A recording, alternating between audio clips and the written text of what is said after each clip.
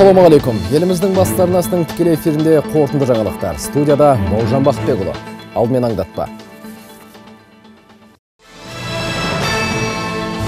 Өскеменде қоғамдық көліктер тоқтап қалуы мүмкін. Оның ставкалары дейді ғой со- солардың бәрін қос- қосып алғанда заң нормалары. Көп бұзылғаны анықталып отыр. Қаладағы тасымалмен айналысатын алты ірі компания төрт жарым миллиард теңге салық төлемеген. Күнгейдегі ысқақ баб кесенесі құлаудың азақ алдында тұр. Енді бұның жағдайы егер де бұны ремонтталмаса бұл енді жақын арада құлауы да мүмкін. Сан ғасырлық тарихы бар мәдени ескерткіштің күтімсіз қалғаны қалай? Жарайсың, молодец, персона. Елімізде арғымақты жарата алатын атбегілер бар ма? Аламанға түсетін кәсіби шабандоз ше ат спортының аяқ алысына шолу жасаймыз. Бүгін Біріккен ұлттар ұйымы қауіпсіздік кеңесі Ирандағы ахуалға қатысты шұғыл отырыс өткізеді. Жиын Нью-Йорк уақыты бойынша сағат 15.00-ге белгіленген. Басқосу ақштың бастамасымен өткелі отыр. 28 желтоқсаннан 3 қаңтарға дейін Иран Ислам Республикасында жаппай наразылық шерулер өтті. Соңы қақтығысқа ұласып 21 адам қаза тапқан болатын. Бір ғана Тегеранда 400-ден астам тұрғын тұтқындалды. Халықтың көшеге шығуына елдегі экономикалық жағдайдың төмендігі түрткі болған. Айта кетейік, қаңтардың үші төрті күндері үкімет жақтастары да шеруге шығып, мемлекет саясатын қолдайтындықтарын білдірді.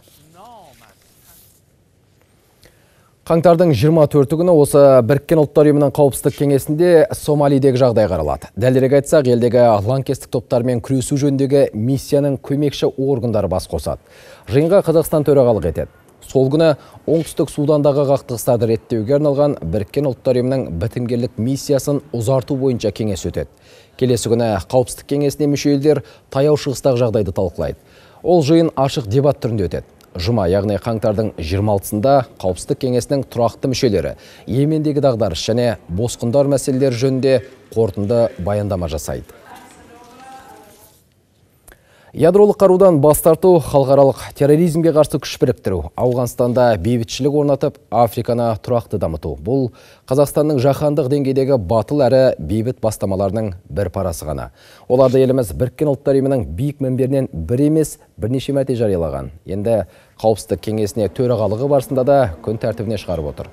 Өйткені біздің ел соғыссыз әлем құруды көздейді. Бұл туралы елбасының тәуелсіздік дәуірі атты еңбегінде де жазылған. Біріккен ұлттар ұйымы мүшесі ретінде қазақстан терроризммен күресте өзіне бірқатар міндет алды және біріккен ұлттар ұйымы қауіпсіздік кеңесінің контртерроризм комитетімен тығыз қарым-қатынасты жолға қойды. 2003 жылдың мамыр айында біріккен ұлттар ұйымы қауіпсіздік кеңесі ирак халқына елді қалпына келтіруге көмек беру туралы қарар қабылдады. Қазақстанның бітімгершілік миссиясы 2003 жылдың тамызында басталды. Қазақстандық офицерлер мен солдаттар 5 жыл бойы ирак аумағын минадан тазартумен жергілікті курсанттарды саперлік жұмысқа үйретумен айналысты тұрғындарға медициналық жәрдем көрсетті Елімізде жыл сайын жүздеген заң мен нормалар қабылданады. Заңды қабылдау барда оны халыққа түсіндіру бар. Бұл ретте мемлекет басшысы үшінші сессияның ашылу барысында қос палата депутаттарына халықпен тығыз жұмыс істеуді тапсырды. Жылдың алғашқы аптасында депутаттар аймақтарға аттанды. Бүгін мәжіліс төрағасы Нұрлан Нығматулин Ақмола облысына ат басын тіреді. Палата спикері өңірдегі өндіріс орындарын аралап, жұмысшылармен кездесті.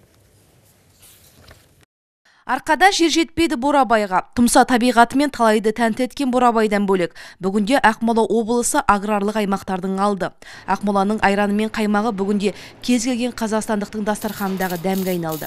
Аймақтағы аграрлық алыптардың бірі индустриалды технологиялық паркі. Бүгінде Көкшетауда 19 инвестициялық жоба жүзеге асып жатыр. Соның бірі осы зауыт ел диқандарының қолын ұзартты. Былтыр бұл жерде 500 техника құрастырылса, биыл олардың санын 2000-ға жеткізу жоспары тұр. Отандық үлесті арттыру. Кәсіпорын жұмысшылармен кездесу барысында мәжіліс төрағасы Нұрлан Нығматулин қазақстандық үлестің басым болмағын қадап айтты. Бұл мүмкін дейді мұндағылар. Себебі мемлекеттің қолдауын сезініп отыр. Аграрлық несие корпорациясы бұл кәсіпорынға 746 миллион теңге көлемінде қаржылай көмек көрсеткен. біздің кәсіпорын еліміздегі ең ірі кәсіпорын болып саналады елбасымыз нұрсұлтан назарбаевтың арқасында көптеген іс шаралар қызметтер іске асып жатыр. Ә, техникалар қазақстанда жасалған таза отандық өнімдер шығарылып жатыр Ұлт денсаулығы мемлекеттің басты тірегі, сондықтан мемлекет бұл саладан қаржысын аяп жатқан жоқ. Аймақтағы мына орталық соның дәлелі. Ғимараты жайлы, заманға сай құрылғылармен жабдықталған. Ең бастысы білікті мамандар жұмыс істейді. Мәжіліс төрағасымен кездесуге келген ақ халаттылардың өз айтары бар. елбасымыз нұрсұлтан әбішұлы назарбаевтың саясатының арқасында біздің облысымызда жаңа медициналық технологиялар кіргізілді. Ол технологиялар кардиохирургия кардиоинтервенция нейрохирургия және ортопедия саласында жоғарғы мамандырылған қызметпен жүзеге асырылады. Біздің облыс тұрғындары осы қызметтерді тегін түрде алады. Спикердің өңірге сапары Көкшетау минералды сулары кәсіпорнында жалғасты. Ұжыммен әңгімелескен мәжіліс төрағасы нұрлы жер, нұрлы жол секілді мемлекеттік бағдарламалардың мүмкіндіктерін мейлінше түсіндірді. Сондай-ақ спикер өнімін экспорттайтын өндірістерге жасалған жеңілдіктер туралы баяндап берді. Көкшетау минералды сулары кәсіпорны өз өнімін сыртқа шығарып отырған отандық кәсіпорындардың бірі. 100% қазақстандық өнім. Мұнда жылына 120 миллион бөтелке су өндіріледі. Кәсіпорында 14 жыл табан аудармай жұмыс істеп келе жатқан Алма Иралина еңбегінің еш кетпегеніне риза. біздің су табиғи таза су сұранысы көп соның арқасында міне осы компанияда осынша жыл жұмыс істеп келе жатырмын жұмыс өзіме ұнайды Әлеуметтік қамту, баспана және инфрақұрылым аймақ тұрғындарын көп толғандыратын мәселелердің легі осы үш мәселеге қатысты. Мәжіліс төрағасымен тілдесу мүмкіндігін аймақ тұрғындары қалт жіберген жоқ. Бүгін біз Ақмола облысында ауыл халықпен және әртүрлі сала мамандарымен кездесіп, көптеген сұрақтарды талқыладық. Әсіресе елбасымыз Нұрсұлтан Әбішұлы Назарбаев алдымызға қойған мақсаттар мен міндеттерге баса көңіл бөлінді. Көптеген ұсыныстар, көптеген пікірлер, соның ішінде проблемалар да айтылды. Олардың барлығы алдағы заң шығаратын жұмысымызда ескерілетін болады Депутатты халық сайлайды. Сондықтан олар билік пен халық арасындағы көпір болуы керек. Мұны президенттің өзі жиі айтады. Осы күндері қос палата депутаттары аймақтарды аралап жүр. Олардың жұмыс сапары 12 қаңтарға дейін жалғасады. Астанаға жиналған соң аймақтағы ағайынның бүгінгі тілектері мәжіліс мінберінен айтылып та қалар. Гүлжан Марқабаева, Жомарт Елеуов, Асқар Әбілдаев, Айбол Тұяқбай, қорытынды жаңалықтар Ақмола облысынан. Осы Ақмола облысының шаруалары енді астықты еш қиындықсыз сата алады. 15 қаңтардан бастап аймақта арнайы ақпараттық бағдарлама іске қосылады. Сөйтіп, диқандар өз өнімдерін сайт арқылы сатуға мүмкіндік алады. Бұл шаруаларды қағазбастылық пен түрлі кедергілерден арылтады. Бастысы астық саудасындағы былықтар азаяды деген үміт бар. Естеріңізде болса, осыдан біраз уақыт бұрын елімізге Ресейдің Қазақстанмен шектесетін аумақтарынан заңсыз жолмен бидай әкелініп, біздегі баға құлдырап кеткен еді. Мамандар енді ондай оқиғаларға жол берілмейді деп отыр. Оның үстіне өңір шаруаларынан азық-түлік келісімшарт корпорациясы 2 миллион тоннаға дейін бидай сатып алуға әзір. Биыл облыс бойынша жалпы 5 миллион тоннадан астам астық жиналған. одобрено а, предложение Министерства сельского хозяйства. Ауыл шаруашылығы министрлігінің үшінші класстағы бидайды 2 миллион тоннаға дейін сатып алу жөніндегі ұсынысы бүгінде мақұлданды. Қазір Қазақстан нарығы қайта жанданды. Бидай бағасы тоннасына 41-42 мың теңгенің шамасында қалыптасып отыр. Бұл шаруалардың көңілінен шығады. Енді одан төмендеуі мүмкін емес. Жаңаға айтқанымыздай жаңа жүйе қажет ақ әйтпесе әл әзір астықтың заңсыз тасымалы тыйылмай тұр. Солтүстік Қазақстан облысында Ресей елінен заңсыз тасылған 200 тонна бидайдың жолы кесілді. Арнайы тексеру кезінде 10 жүргізушінің тауарға деген фитосанитарлық қағаздары болмай шыққан. Құзырлы орган мамандары оларға 500 мың теңге айыппұл салып, жүктерімен бірге Ресейге қайтарып жіберді. Сорақсы сол, ұсталғандардың барлығы Қазақстан азаматтары. Қазір көрші Ресейде үшінші сұрыпты бидайдың тоннасы 34 мың теңге шамасында. Сондықтан бәзбіреулер оны арзанға алып келіп, мемлекетке қымбатқа сатқылары келеді. Сондайлардың жолын кесу үшін қазір аймақтың төрт ауданында мобильді топтар құрылды. Если легальная Егер бидайдың барлық құжаты дұрыс болса, жүргізушіні жібереміз. Оларға шектеу қойылмаған. Бірақ жүк туралы салық комитеті мен азық-түлік корпорациясына хабарлаймыз. Бұл Ресейдің арзан астығын мемлекетке қымбатқа сатудың алдын алуға бағытталған шара. Астана аспанын торлаған түтіннің сейлер түрі жоқ. Қала жұрты қолқан қапқан естен әбден зәрезап болдық деп шағымдануда. Ал Қазгидромет мамандары дабыл қағатындай дәнеңе жоқ. Бәріне климат кінәл деген уәж айтады. Десек те көк түтін табиғаттың емес, сапасыз көмірдің салдарынан түзілгенін әкімдіктегілер құптап отыр. Енді жергілікті билік осы уақытта қадағалау жұмыстарын жүргізбек. Мәселеге әріптесім Гүлназ Қабидоллақызы үңілді. Астана аспанына қара түтін орнағалы қашан, қыс басталғалы айтылып келеді. Саябір желдің қою түтінді сейілтер күші жоқ, әлі сіресіп тұр. Мынау көп қабатты ғимараттың биігінен бүгін түсірілген кадр. Бұл әдеттегі тұман емес, қарақошқыл түтін екенін экологтардың өзі растап отыр. Жазды күні біз өзіміз білеміз Астанада. Ол ас, аспан ашық, бір смог, үлкен смог көрінбейді. А қысты күні не үшін пайда болды? Смогтың әсері 70 пайызы осы көмірге байланысты болып отыр. Қыс бойы таңның атысы мен кештің батысы мұржадан бодақтаған түтінді әр үйдің төбесінен көруге болады. Үзілмейтін күнделікті тіршілік, үйреншікті жайт, тіпті киімімізге тұтқыр иіс сіңіп қалады дейді. Осы ауаны жұтынған жергілікті жұрт. Терезе ашсақ болмаса даже подъездің өзі түтін сасып кетеді угар қалай дейді түтін ненің көмірдің иісі кейбіреулер айтады машинаның көптігінен дейді машинаның көптігінен емес сол қаладағы көмір ағаш басқа да май мазут жаққандардың есебінен осы көбейіп тұр ғой деп ойлаймын мен. Мен тұратын ауданда әрбір үйде бір бір баня жағады. Менің үйімнің жанында бес баня бар. Бес баня бір жазда бір, ә, бір жылда ә, айына он тоннадан дегенде есептей беріңіз қаншама тонна көмір жағады. Мен өзім екінші группа пенсионермін. Астматикімін зорға жүремін осындай дәрілермен мінекей пысылдатып қалтамда үш жарым мың теңге тұрады неки. Осы дәрімен жүреміз. Ауа ластанса алдымен тыныс аурулары қозады. Астанадағы аллергология орталығына шағымданушылар саны қазір күніне 10-15 адамға жеткен. Біріншіден аллергиялық өкпе демікпесі жатады. Көбінесе осы аурудың салдарынан адамдар көп ә, асқынуларға алып келеді. Аллергиялық риниттер болуы мүмкін. Басқа да жаңағы ә, дене бөртпелері болуы мүмкін. Негізі маска, маска тағып жүрген дұрыс деп есептеймін. Және де аптекаларда сатылады ә, жаңа тампондар мұрынға арнайы. И және де теңіз тұздары қосылған спрейлерді керектенген жөн. Көліктен шыққан зиянды қалдықтар да ауаны ластайды. Сондықтан экологтар жүргізушілерге темір тұлпарын газға ауыстыруға кеңес береді. Ал әкімдіктегілер болса ауа райын жасай алмасақ та көмір сапасын қадағалауға күшіміз жетеді деп отыр. Стандарты есть Көмірдің стандарты барда, оның сапасын тексеру жөніндегі белгілі бір мемлекеттік органның құзыреті жоқ. Біз сол бақылауды күшейтпекпіз. Яғни көмір базасынан тұтынушыға жеткізілгенге дейін қадағалауды жүзеге асырмақпыз. Қыс ортасына келіп, жұрт көмірді қорасына кіргізіп алғалы қашан. Сондықтан әкімдіктің қимылынан биыл қайыр бола қоймас. Халықтың үміті қолға ұстатпас желде боп тұр. Жел тұрса көк түнді көтеріп кетер еді дейді. Ал ауа райын зерттеушілерге сенсек, қаңтардың 9-ында жел күшейіп, 11 күні секундына 21 метрге жетеді деген болжам бар. Гүлназ Қабидоллақызы Дәурен Жұрхабаев, қорытынды жаңалықтар.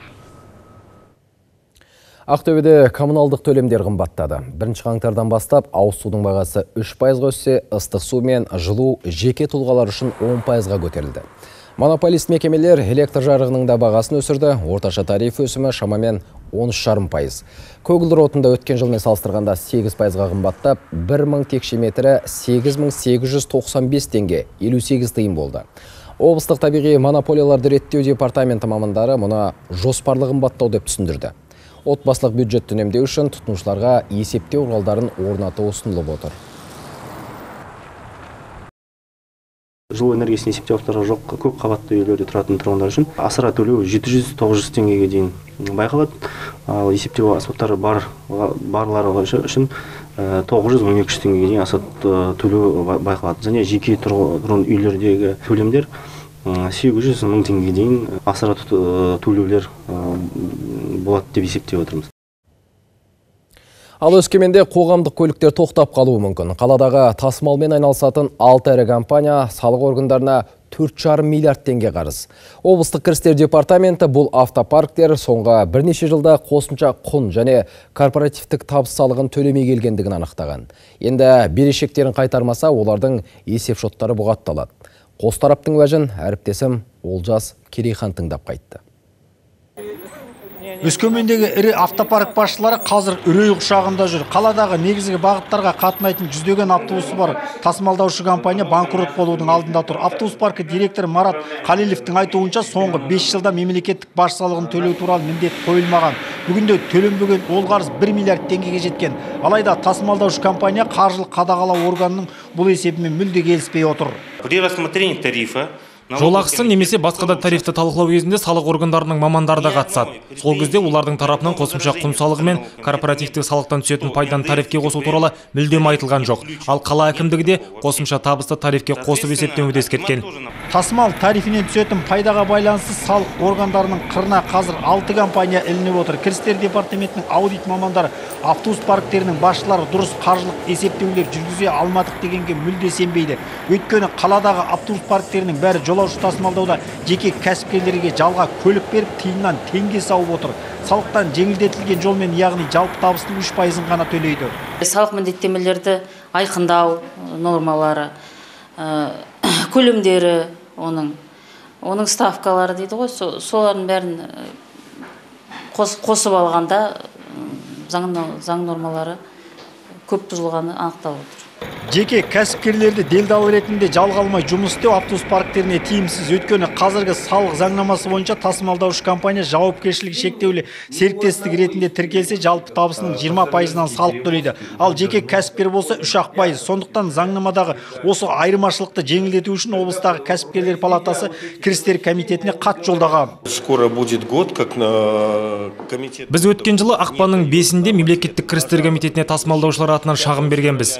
Бір жыл болды әлі жауап жоқ. Енді мәселе осылай созыла берсе салық органдары тасымалдаушы компаниялардың есеп шоттарын біржолата бұғаттап тастайды. Тасымалдаушы компаниялар салықтан жеңілдік жасалса мемлекеттен берілетін субсидиядан да бас тартып жолақы бағасын бір қалыпты ұстауға уәде беріп отыр. Ал автобус парктері мен өңірлік кірістер департаменті арасындағы төрт жарым миллиард теңгеге қатысты салық дауы қалай шешілетіні әзірге белгісіз. Өскеменнен олжас керейхан дмитрий пыхтин қорытынды жаңалықтар. Ертіс өңіріндегі 400-ге жуық ауылда халық тұтынатын ауыз судың сапасы тексеріледі. Бұл жұмыс өңірлерді дамыту 2020 бағдарламасы шеңберінде жүзеге асырылады. Тұрғындарды сапалы ауыз сумен қамту мақсатында былтыр 10 миллиард теңгеден астам қаражат бөлініп, 20 жоба жүзеге асырылған. Осылайша аймақтың 14 мыңға жуық тұрғыны таза суға қол жеткізді. Биыл бұл көрсеткішті еселей түсу көзделіп отыр. Шамамен 400 шақырым су құбыры тартылады. Нәтижесінде тағы 40 мың адам сапалы ауыз сумен қамтылады. Биыл 25 елді мекенде арнайы жобалар жүзеге асады. Оларға мемлекеттік бюджеттен 10 миллиард теңгеге жуық қаржы қарастырылып отыр. 20 жылға дейін 91 ауылды орталықтандырған сумен қамтамасыз ету көзделіп отыр. Сонымен қатар біз қазір шағын, яғни халық саны аз елді мекендерде кешенді блок модульдерді орнатуды қарастырып отырмыз. Петропавлда жарылған құбыр жаңасын алмастырылып, апат салдары толығымен жойылды. Төрт бригада төтенше жағдай болған учаскеде күндіз түні еңбек етіп, олқылықтың орнын толтырды. Судан ажыратылған бірнеше тұрғын үй мен әлеуметтік нысанның барлығына қайта су берілді, бірақ әзірге онда қысым төмен болады.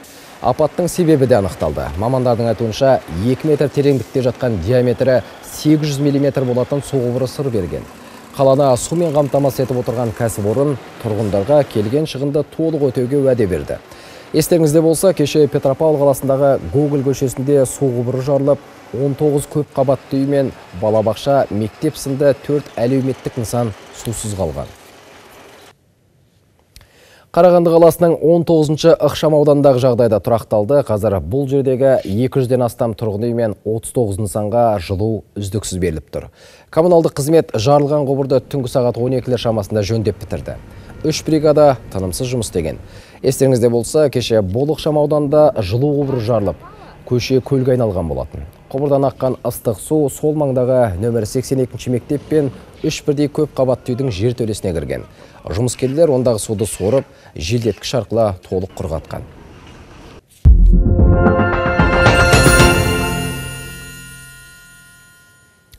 Атбегілік атадан қалған асыл өнер. Біздің халық ат спортын ұлттық спорт деп біледі. Бәйге көкпар сынды жарыстар ұлттық спорт түріне енгізілгелі мемлекет тарапынан да қолдау күшейді.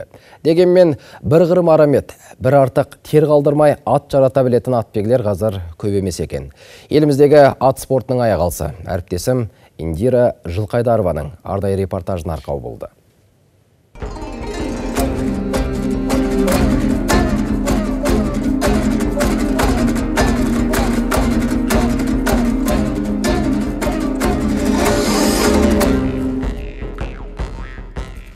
Тұлпардың тізгінін тартқан тамырлан 8 жаста. Тұлымшағы желкілдеген жеткіншек үлкен бәйгеге шабуға машықтанып жүр. Ауыл арасындағы аламанда аттан оңбай құлап жасып қалғаны болмаса жалға жабысып желмен жарысатын шабандоз болмақ ниеті бар. Сен қорқып тұрсаң ат сезіп қалады. Сені бас жағына түсіріп жіберуі мүмкін. Құлап ат басып кетпеу үшін өзіңді сенімді ұстау керек. Мен әлі үйреніп жүрмін. Сәйгүліктердің су жүректерді суқаны сүймейтіні рас. Аттың құлағында ойнайтын атбегі бекболат серікбеков те кезінде бәйге шауып бас жүлде алған. Қазір астана маңындағы ат спорты кешенінде тұлпарларды бәйгеге жаратып жүр. Тренировкаға ат түсердің алдында көптен жүрмеген ат болса аяңмен жүріп бір 15-20 күн может аяңмен жүреміз. Одан кейін жай жайдан көтереміз. Одан кейін желіске түседі қазақша шоқарақ дейді. Одан кейін шоқараққа сөйтіп қысқы тренировкасын жай өткіземіз де содан көктемде уже основной тренировка басталады бізде жер ашылғаннан кейін. Жаңағы ұшқыр жұмыстар жаңағы резвый жұмыстар дейді жаңағының бәрін келіп одан кейін уже мынау бәйгеге жақындаған кезде аттың терін жаңағы қамау терін қамау терін аламыз. Бәйге қыз қуу көкпар теңге алу аударыспақ ойындары ұлттық спорт түрлеріне енгізілгелі мемлекет тарапынан қолдау ерекше. Олимпиадалық ат спортының бір түрі кедергілерден өту. Елімізде облыстық республикалық халықаралық деңгейде жарыстар өткізіліп тұрады. Ондай сайысқа елу алпысқа дейін жылқы қатысуы мүмкін. Негізінен бұл спортта еуропалық тұқымдас тұлпарлар озық келеді дейді атбегілер. Распутин, наша звездочка, хороший мальчик. немістің ганновер тұқымды мына арғымағы түрлі деңгейдегі жарыстарда мәнерлеп жүруден бірнеше дүркін чемпион атанған. Қазір оның кішірек туысқаны кедергілерден өту сайысына дайындалып жүр. Бәйгеге қаншырдай қатқан мезде кепкен жарауаттар жіберілсе көкпарға епті икемді күйлі жануар салынады. Көкпарда ат иесі де күші мығым мықты жігіт болуы керек.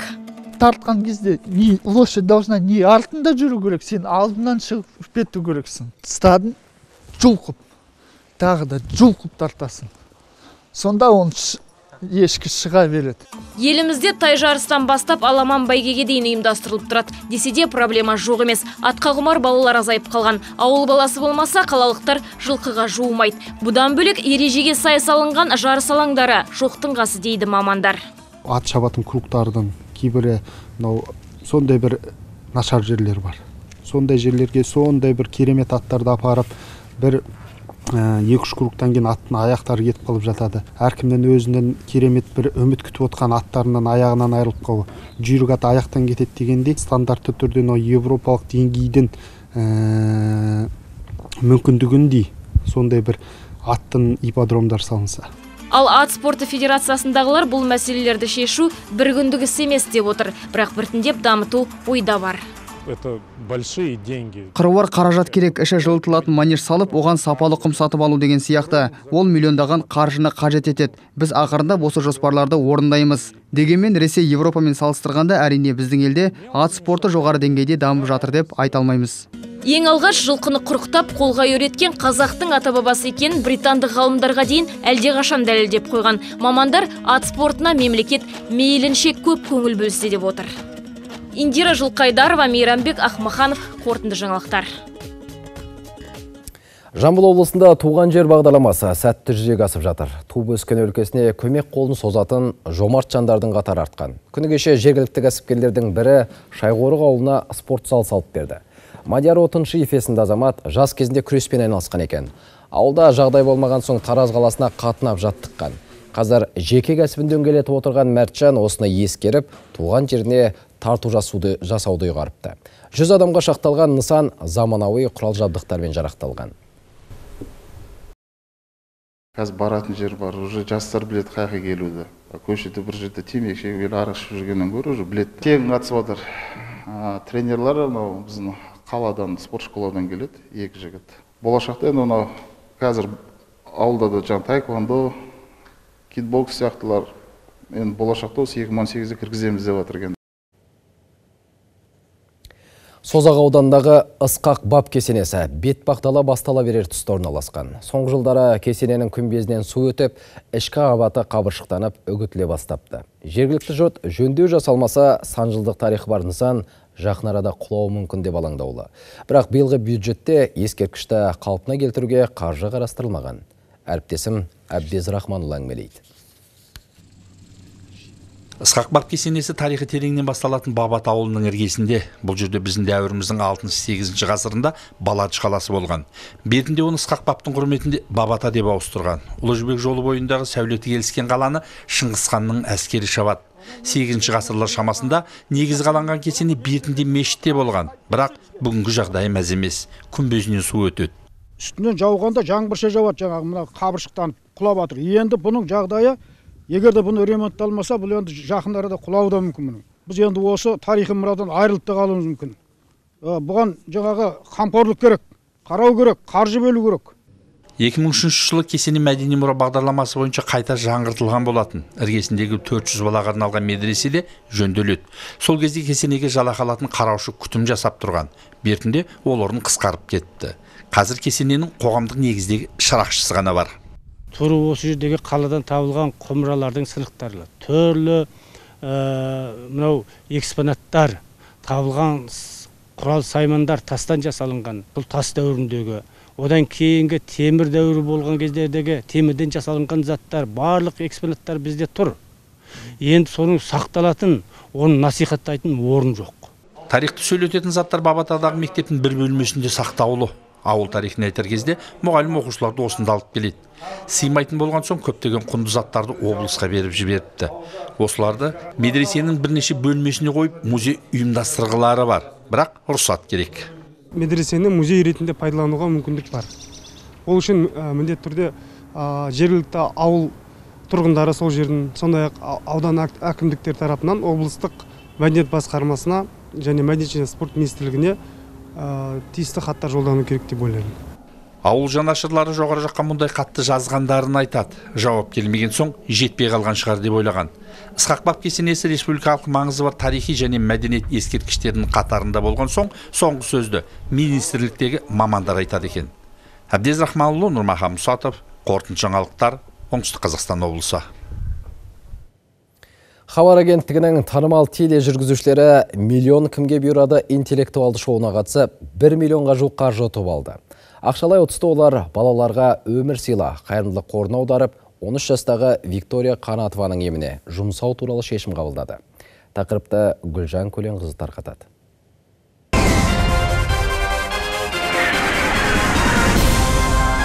Телевизиялық ойын оңай сұрақтармен басталды. Алайда ойын талабына сәйкес уақыт өте сұрақтар да күрделене түсті. Зияткерлік ойында кітаби білімнің аздық ететіні рас. Бұл ретте алғашқы жұп ойыншылар көрерменге көптен таныс тележүргізушілер. Қымбатхан гелдина мен марат мұхамедсалиев терең білгірлік танытып барынша көп ұтысқа жетуге тырысты.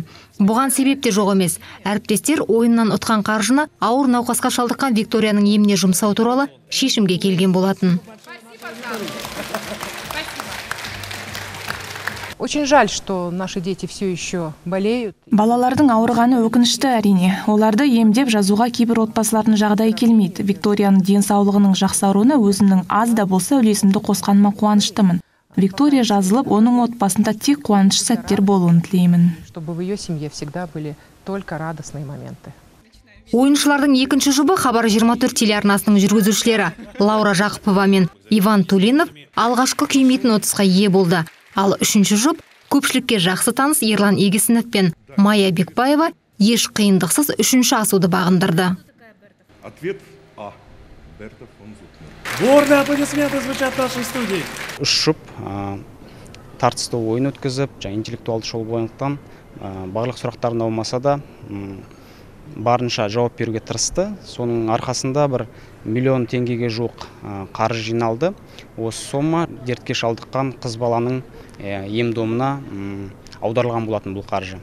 Миллион кімге бұйырады бағдарламасының қайырымдылыққа арналған бұл саны ертең 6 қаңтар күні кешкі сағат 20:15-те хабар арнасынан көрсетіледі. Гүлжан көленқызы алма оразбаева қорытынды жаңалықтар алматы. Бүгінгі айтарымыз осы. Аман сау болыңыздар.